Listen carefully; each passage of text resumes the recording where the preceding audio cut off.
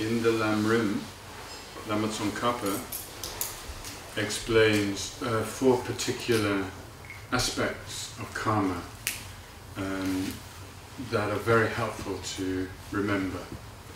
In particular, people who are doing this module as a study, please remember these. Okay, the first one, it, it says karma is certain. So this needs explanation. It means that a particular cause creates a particular result. Even if we don't understand what was the cause of the result, or we don't understand what will be the result of the cause, one thing we can know is that the cause and the result are related in a definite relationship. It's not something that can change um, along the way. There's a very definite relationship. In the same way that a particular seed will create a particular plant. So we often say a rice seed will create a rice, a wheat seed will create a wheat, and so forth. Okay? There's no way that a rice seed can create wheat, or a wheat seed can create rice. That's impossible. And karma is like that. The problem with karma is that it's a very subtle cause and effect. It's something that ordinary people like us, we can't see. The farmer can see with the seeds, or the gardener can see with the seeds. And in, in our life, we can see many things where the cause and effect is obvious. But to see directly the cause and effect of actions, they say that only a Buddha can see that.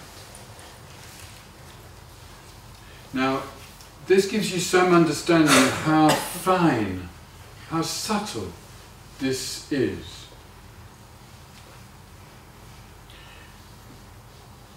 I just mentioned, I've, some of you probably heard me say this before. Lama Zopa Rinpoche said, one day scientists will discover karma, and then everybody will believe it. it's, it's a good joke, but also, when I thought about it more, I realized that karma is a force, in the same way that magnetism is a force, or electricity, or nuclear energy. These are all forces which scientists didn't know about before. And then somebody discovered it, and now they know about it. And because they know about it, then they can uh, do things with it. They can manipulate it. They can utilize it. With karma, it's, it's a very subtle level of uh, cause and effect.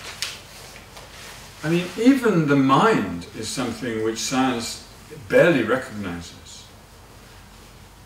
You know, science can sort of understand uh, the neurons and those kind of things in the brain.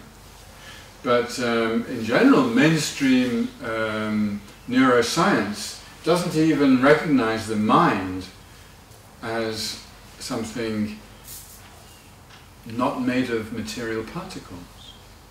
It's still very difficult for contemporary science to recognize even the mind, which is something beyond the material particles.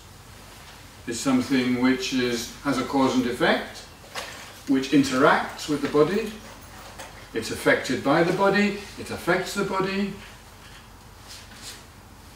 Uh, it, it has its own cause and effect, the mind.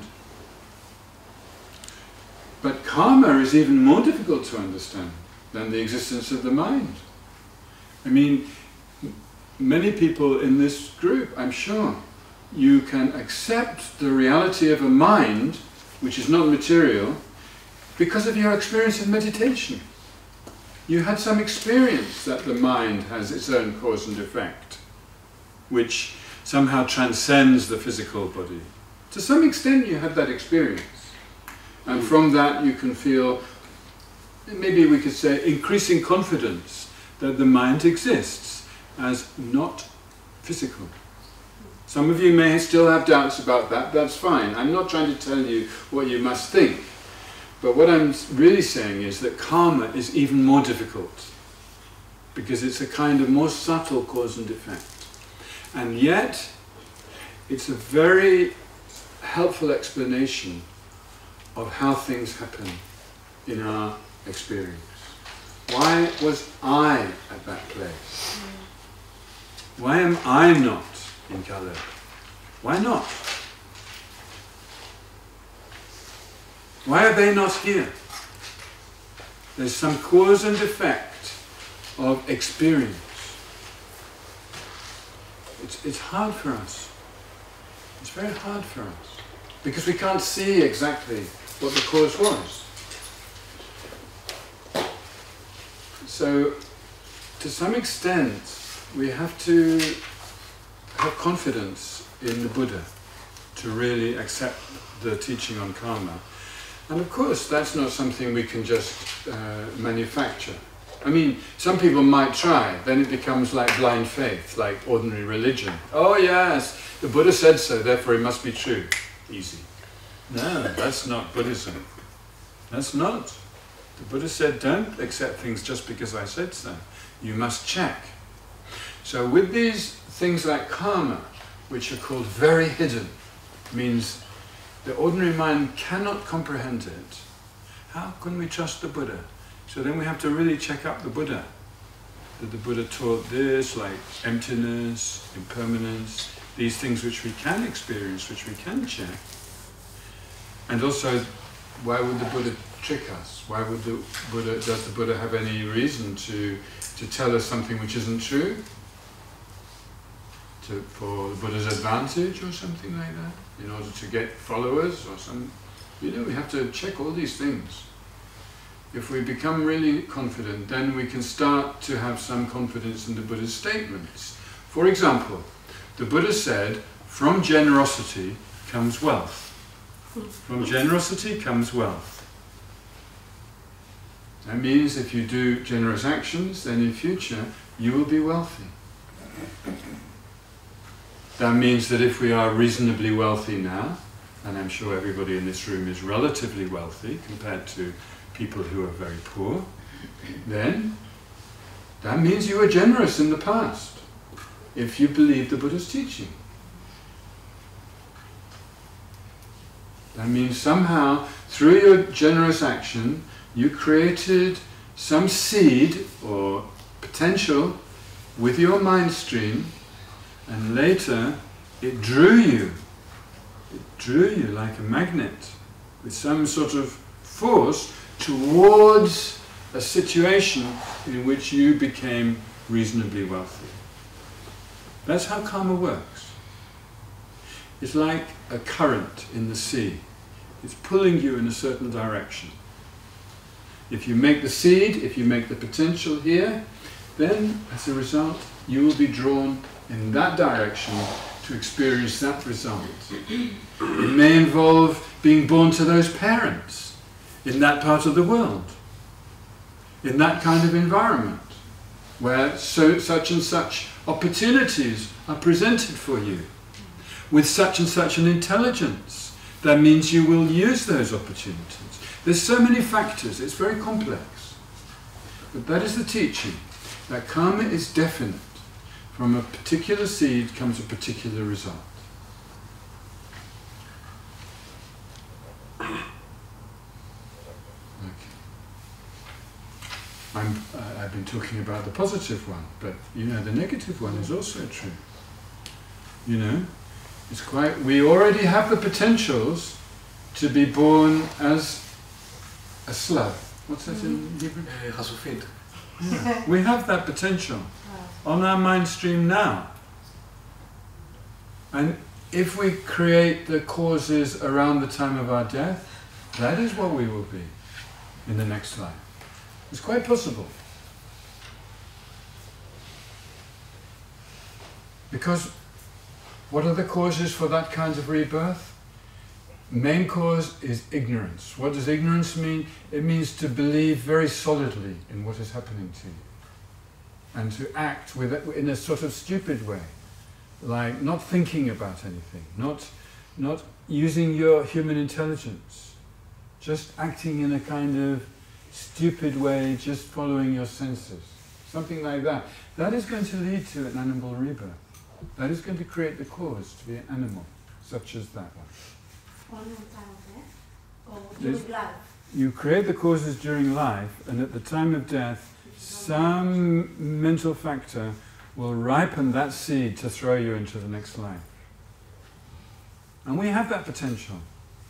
I'm sorry to say. But that can happen to us. Imagine how it would be if you were a slab. חשופית. Imagine how it would be. הבר עלי בלי הבית. הבר עלי בלי הבית. Okay. You don't have so much in Israel? They have- Yeah. But people We have- don't, people don't see them because they're not In wearing the city, All right, something similar. snail. A snail. snail. Okay. גם בר עלי. Okay, we say snail then, Snail. if it's more common for you. Snail. Imagine how it would be. Imagine. the snail has a mind. Don't think snail has no mind. It's just nothing. It's not, it's not a plant. Snail has mind. What is this mind like? Just imagine.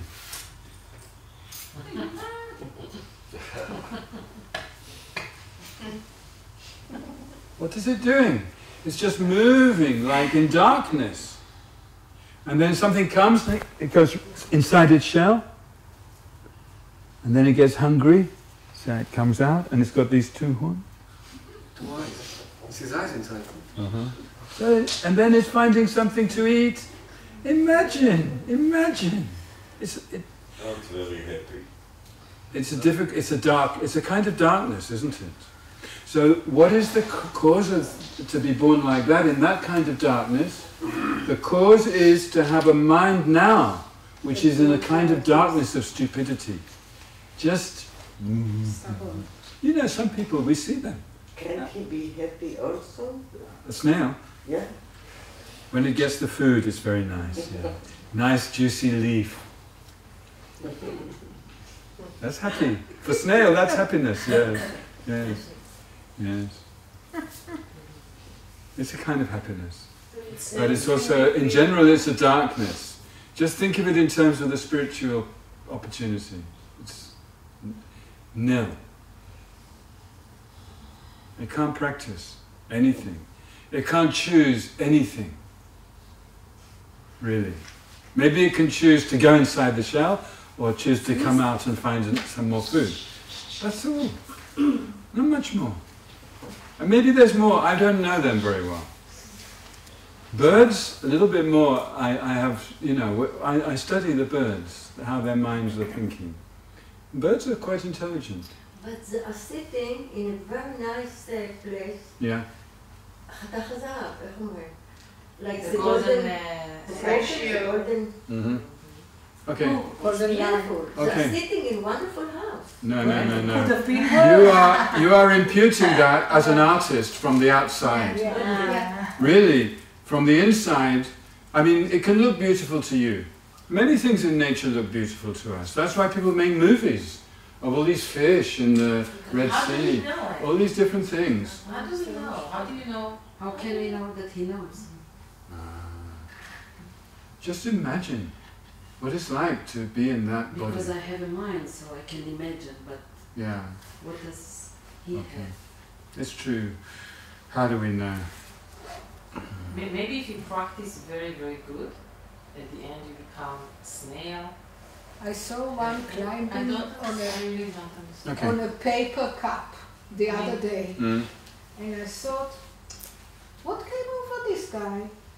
He couldn't think. It's not where his food is. He should go in the garden. Mhm. Mhm. I mean, the, s- the snail is in the That's the first time I saw a Okay, snail thank you. on a Yeah, one, one at a paper time. cup. So, Sorry, she. The, the snail is the snail more captured than the people in, you know, Yeah. in modern life, in, in you know, running from place to place. I mean, Okay. I, I'm, I'm, Mhm. Some are the same, some no, I are think, not. It's, it's a good it's a good question. Isn't it obnoxious of The us to think that we are better? No, no, I'm not saying better. I'm not saying better. We do We say- have many opportunities. Yeah, we do say that. That's We do stupid. say that We shouldn't say that. right? No, we shouldn't say that. It's arrogant. But what we can we can compare the opportunity of one being against another, especially the opportunity for spiritual practice, and the opportunity to choose between what to do and what not to do. We have that opportunity. I think most animals do not have that opportunity. Uh, also, the opportunity to think about the future and decide to create some good causes for the future instead of creating bad causes for the future. Most animals, as far as I can see, are just doing what is immediately satisfying. They're not thinking about the long term. I mean, you maybe just you might say, "How do you know?" Okay, you can say, "How do you know?" So, do you think you think that the animals, like your dog or your cat, do you think they're thinking about the next life? You know, Oh, how do you know? No, because they don't have have the opportunity, as you said. Yeah, I think that's true. We humans have the opportunity because we have an intelligence that can distinguish between what to do and what not to do. We also have the intelligence that can project into the future and think, I want certain results in the future, therefore I'm going to do this action now. For example, in business, people do that all the time. They invest money in order to get some benefit in future. But animals, they don't have that kind of intelligence as far as we can see. But- how but on does the other- hmm? But on the other hand, they don't have any. I mean, if you look at Dexter, as you all know, so he doesn't have vicious thinking. He doesn't think, oh, if No, no, no, no. Really? I'm not trying to say what. Really? How He's do a you know? murderer. he's not a I know Dexter, of course he does. Was vicious, strong. Yes, when he sees a cat, you bet. I, don't know, Okay. I don't know if it's vicious. It's more surviving. No, Mikhail, what you're, the point you're making is that humans also have the capacity to choose to do terrible things. And humans can cause much more trouble than animals. I think that's what you're saying. And that is true. Because of our intelligence, we can also cause more harm. So we can create much worse karma than any animal. Than than Dexter, for Definitely. I think that's your point. Therefore, we should not be arrogant and say humans are better than animals, because some humans are much worse than animals in the sense of the cr- results they create. Is that, is that your point? Mm-hmm. Fine. No, I'm not arguing about that. All I'm arguing about is that we have more opportunity because of our intelligence. That's all I'm saying. Yeah, um, thi- this, you, you I just wanted to ask by Mhm. Buddhism, how does how if the animal uh, has any chance to evolve to Yeah, animals have, uh, we have beginningless uh, lives and we have the potentials for all kinds of rebirth and the animal can die with a peaceful, positive mind. And and animals also can have compassion and love. It's not like everything in an animal's mind is negative. And therefore they can ripen some good seed at the time of death and be reborn as a human. Yeah. What you said now is the answer of what I thought is that my common sense tells me that uh, as most of the population is not practicing, Yeah. it means that most of the population will become sludges. So, but if you say that, that on the other side, that animals of course can evolve also or Yeah. also reborn to humans, It's possible. that's It's not very common. balance Yeah, yeah. It's not common. in terms of Next generation, no. But, but animals often die being eaten by other animals, so they die with fear and anger. Hmm. But so, but but it is possible for an animal to die with a positive mind. Yeah. But the teaching is that to be a human is very rare. That's one thing, mm-hmm. and we can see the number of animals on the planet compared to the number of humans. So we can see that. The norm is for the animal to be reborn as another animal. I have much more opportunity to create really bad karma in my life, mm-hmm. much more than Do- Dexter. Yes, it's true. It's true. That's true. Really? Yeah, Just yeah. because I'm human. Absolutely. Hmm? And does a dog or a cat have a good karma? I have a question about the, the link between the cause and effect and the karma. Uh-huh. So I understand it's very subtle that we, although we are intelligent human beings, we, we can't really see. But the whole purpose, isn't it to learn from, Yeah. I mean, the whole idea, if, if I had um, uh, in my past uh, life something I did very wrong, and Yeah. then I'm, I'm experiencing hurdles in this life because of what I did. Uh-huh. Why, uh, why it was hidden from us? Because then I could learn from it and take into the future uh, better. There wasn't a God who decided to hide it from you. Yeah, so, so. It's just part of the, it's the nature of karma that is a very subtle cause and effect, so it's very hard for us to experience. That's why. It's not that somebody decided to make it hidden. Uh, One more person over here, yeah? Uh, you say that the moment of death is very critic for the next. Uh, Yes, it is, yeah. What What if a person lives in in good uh, intentions and good spirits, but the moment of death is full of fear and anger or whatever? What then happens? They will ripen a negative seed. But all the good things they did will still be there potential for after that. Yeah, so it's not wasted. Okay, so the first point of, is that karma is definite. That's the first point. That's the fir- we there's four points, remember, so I want to have time for the other three. But this is the most important, probably. It's very, very important. Karma is definite. And in general, we say a harmful cause will create a suffering result. A helpful cause or constructive cause will create a happy result. It's, it's something like that. But that's just very general. Then, when it comes down to specifics, like from generosity comes wealth, the Buddha ma- gave many teachings about what causes what. And it's very interesting. For instance, if you're angry, it says that, that you, you will be ugly. Oh.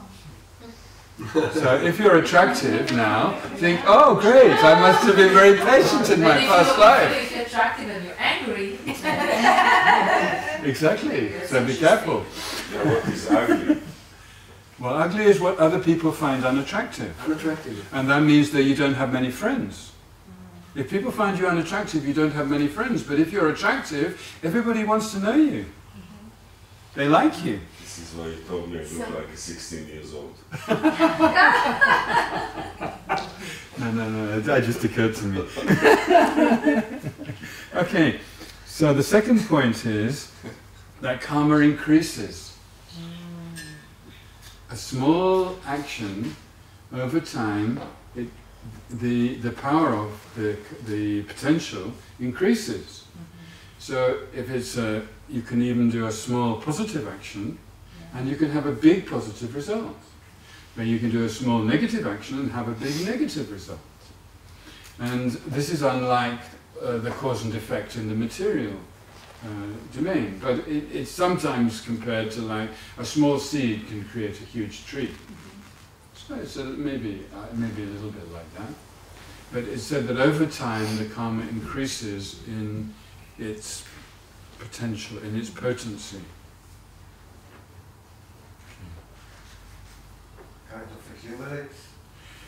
Some, some people say that because of the karmic, the karma, then you have a tendency to, to increase the power of that through your attitudes in, in the future. But I, I don't know whether it's that or whether it's just one of the properties of karma. That this is one of the things that the Buddha taught. So, so both of these things are things we can't actually see. So we either accept them or we, we just say, well, I don't know. But this is what the Buddha taught. So that's my job here is to try and convey to you what the Buddha taught. Okay? Um, and this is made very clear in the Lamrim. So the first one is that karma is definite, and the second is that uh, karma increases. Hmm? Increases or decreases? Increase. Increases. Increases in its For po- regular Not decreases. Yeah, either, either. Like both words, yeah. Yeah. But, but when you exhaust your karma by purification, isn't that decreasing Ah, yeah, yeah. No. Purification is, is a topic that we're going to go 100% next time. This time we're trying to introduce uh, the general topic, but please, I should reassure you, purification is possible. That means to neutralize the seeds, at least neutralize them, if not destroy them. So uh, there's no karma that we cannot stop. We can stop the karma. We can stop it through If you know what is the karma. Yeah. What is, if you, you, you can't see the karma, if you No, can't no, see you the can even subtle, even even when you don't know what it is. Really? Yeah. Next. We'll talk about it next time, but there are various practices that you can do, even for karmas that you don't remember.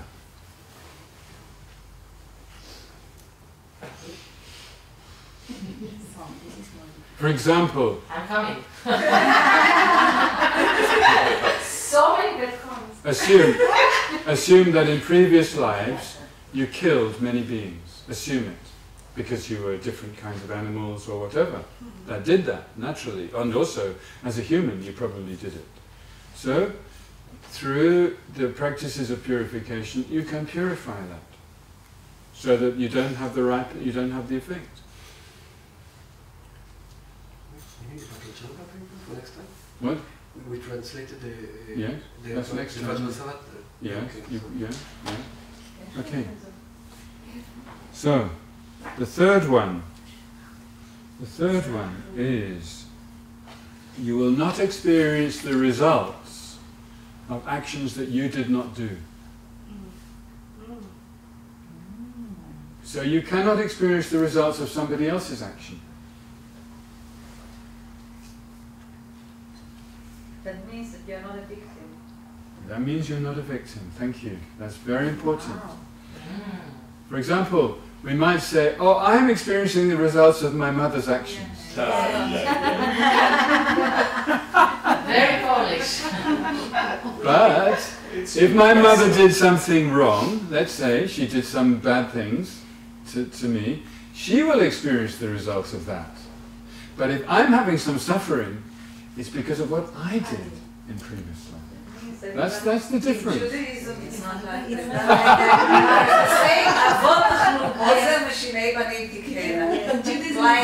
But then you hit something, then your kids will then do repay for it. But it travels on the family. There's a whole, that's a whole field of yeah. It's not only education. There's a, there's you a, say that it's like it's illogical. Yeah. about the לא, אה, לא צריך לקחת דברים.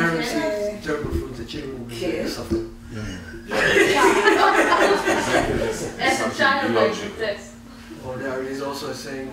It's also in um, there's a play by Henrik Ibsen called Ghosts, and it's about this very same thing that it's uh, it's because the, the, the father had syphilis and then the son is experiencing this terrible disease, and he's going to die from it. And so it's called ghosts because everybody has these ghosts from the past that are kind of manipulating you. So this uh, Buddhism completely rejects, completely rejects this theory. Um, and Buddhism says, sure, if the, if the father did something wrong, then the father will get the results. And if I have some suffering now, I created the cause. So it's, it's a different approach. But I think it's, it's kind of judge, judging other people. Yeah, When your father was like this, so Yeah. I judge you. yeah, I agree. yeah, this psychological. Yeah. I want to share with you something that connecting to this idea. My father was in the concentration camp.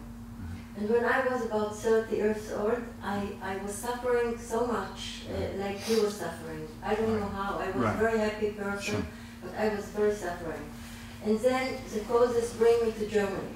Mhm. And I lived in Germany. And then I was connected with some architect, and uh, they invited me to make an environment sculpture in a, a German embassy in Finland.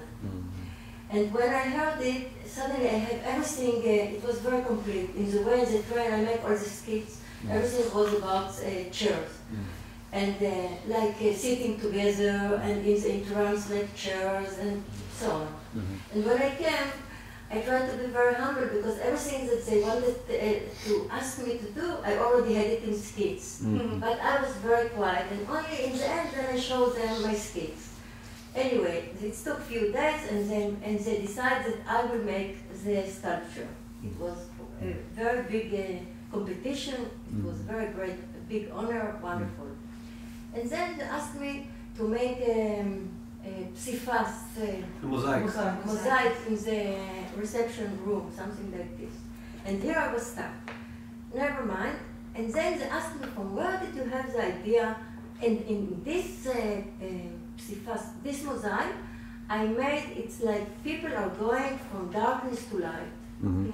And I thought now I'm going to give them revenge in the German embassy of everything they did to my father. And I was so happy. And they accepted. And in the in the competition, it was an architect uh, competition, and this was in the front page, my drawing about everything. Every Jew it, they will understand that we are talking about Jewish who are going to be victim and become like angels, something like this. Wonderful. And then I came to Israel because I wanted to know what is the reason that, I, my concept wasn't sure. So I said to him, it's because I was born in Ein Karem, a very small village beside Jerusalem, and this was my inspiration because it was their houses that was just built uh, with stones inside. And another thing that we used to run as children to rocks, and it was the king was sitting and then two others. So this was my village, and this was my inspiration. So I came there, I came from Germany, I went to this village, I took the photos, and suddenly came out a woman. And she said, why are you taking these photos? Because uh, we belong to the organization? I said, why? So I told her about my story. She thought, because I thought maybe we belong to the organization. I asked, which kind of organization you? Then she said to me she's from the organization of um, like excuse, the second generation from Germany come to Israel to help in hospital and uh, Ah, from Germany. Men's, yeah. It's very big uh, volunteer. Uh, and then I was looking at her. She was second generation, and I was second generation. And suddenly, not my father, not her father, only we. And then I understand that the destiny or karma of my father, it was his, and my karma, it was mine. Wow.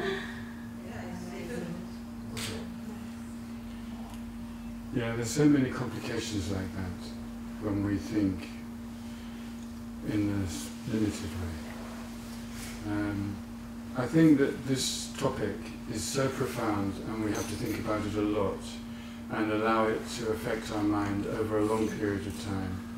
And think very carefully about everything that happens to us, everything we do, with great humility and not think we know the answer to everything. Um, it's a difficult topic. I mean, in some ways, this is the most difficult topic because it's the most hidden. It's very hidden. This topic. Um, you will. So the third point is you will not experience the results of something you didn't do. Um, and then the th- fourth topic is whatever you do is never lost. It's never wasted.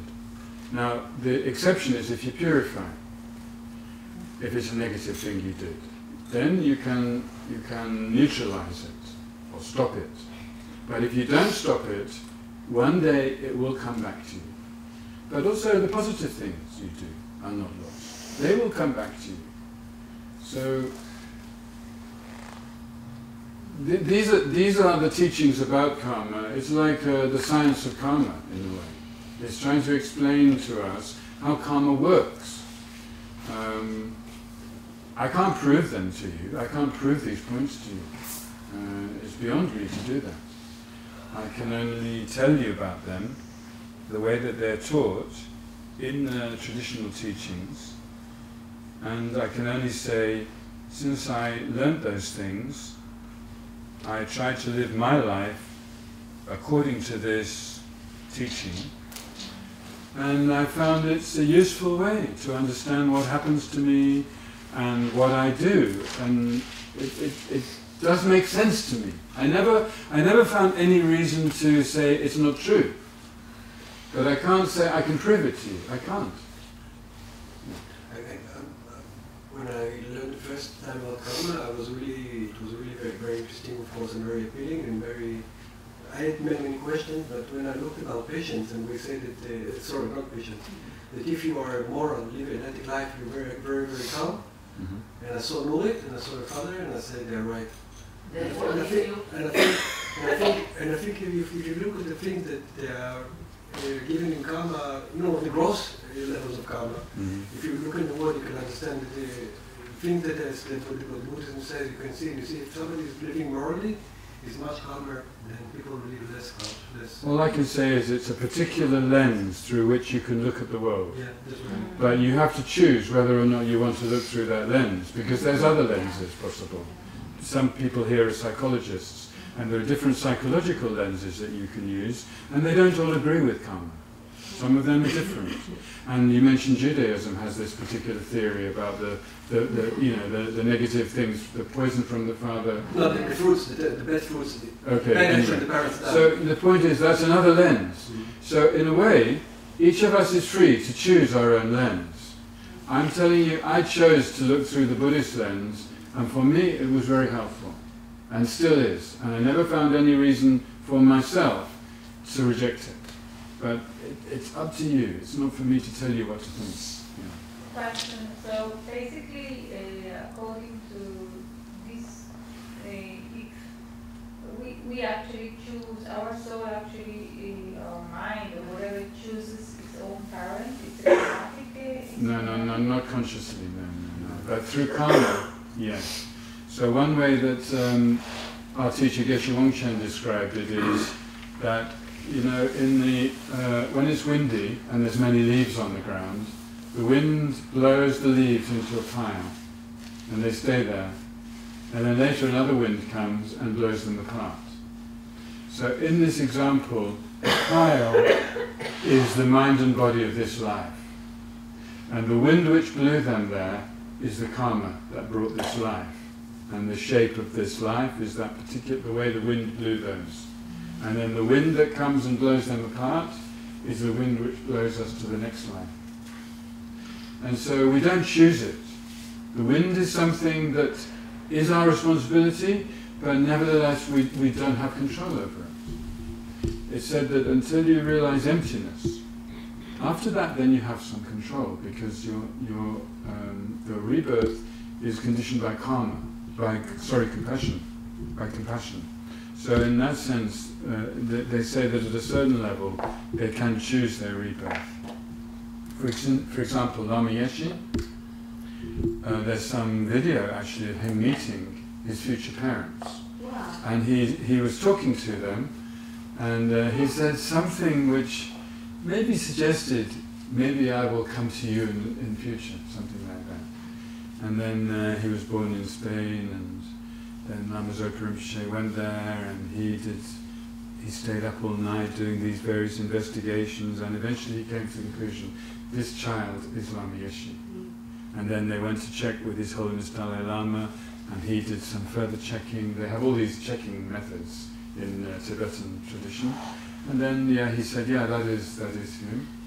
And now he's Osel, and uh, like Lama Yeshe, he's a big rebel, and uh, he kind of um, he, he presents the Dharma in a way which is quite unorthodox, but it's very immediate, and that is exactly how Lama Yeshe was.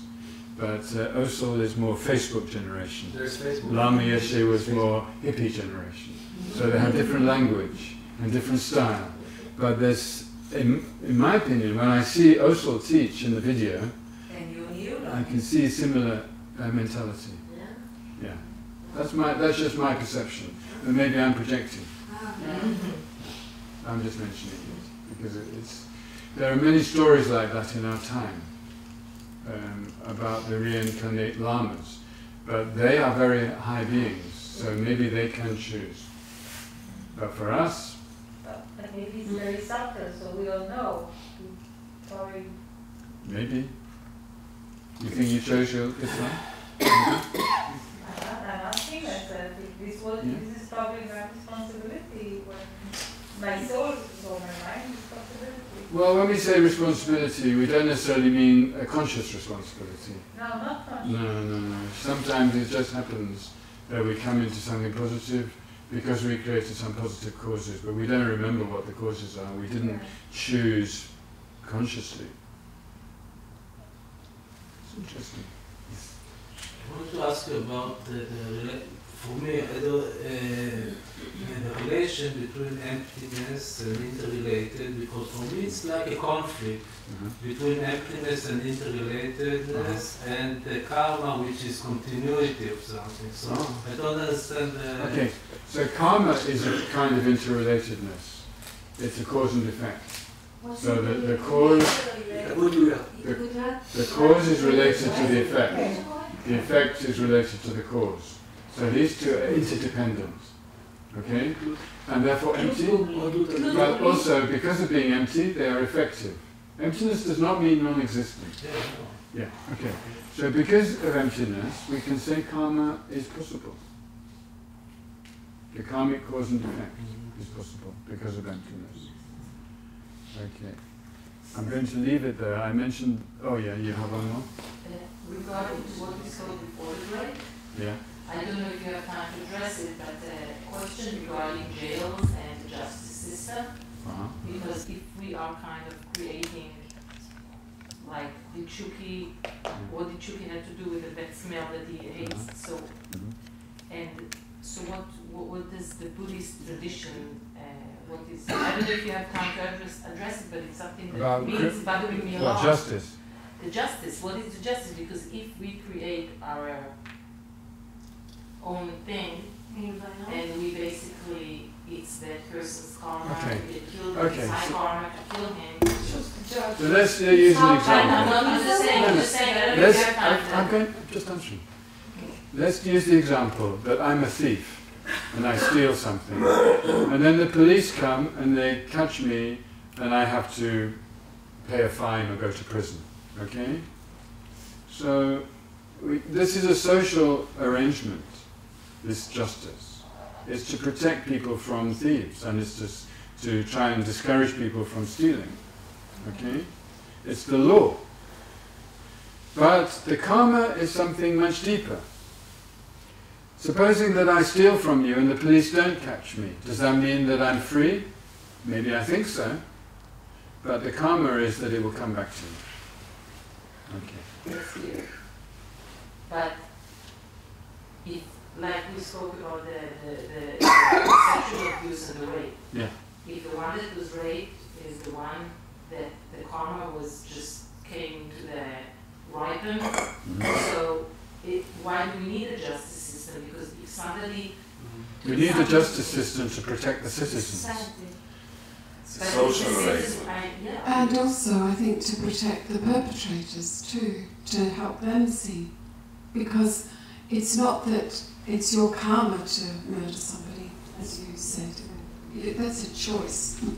And to help people make good choices for their future, they need to see that there's some, you know, they may not understand karma, but they might see cause and effect. I'll go to prison.